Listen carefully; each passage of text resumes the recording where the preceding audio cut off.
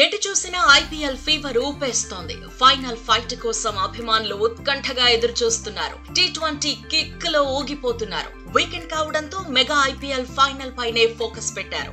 ఆర్గనైజర్లు కూడా మ్యాచ్ కోసం పక్కాగా ఏర్పాట్లు చేశారు. ఫైనల్ మ్యాచ్కు అహ్మదాబాద్లోని మోదీ స్టేడియం ఆతిథ్యం ఇస్తోంది. ప్రపంచంలోనే అతిపెద్ద క్రికెట్ స్టేడియం ఇది. లక్ష పదివేల మంది ప్రేక్షకులు ఫైనల్ మ్యాచ్ను ప్రత్యక్షంగా చూడబోతున్నారు. అభిమానులతో మోదీ స్టేడియం ఉర్రూతలూగిపోనుంది పూర్తి సామర్థ్యంతో స్టేడియం ఫుల్ కాబోతోంది.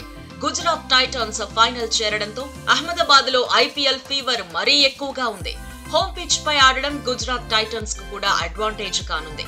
అభిమానుల మద్దతుతో చెలరేగాలని పాండ్యా టీం భావిస్తోంది. ఫైనల్ ఫైట్కు ముందు ముగింపు వేడుకలు జరగబోతున్నాయి. కార్యక్రమాలను కలర్ఫుల్గా ప్లాన్ చేశారు. ఐపీఎల్ ఫైనల్కు ప్రధాని మోదీ చీఫ్ గెస్ట్గా హాజరు కాబోతున్నారు.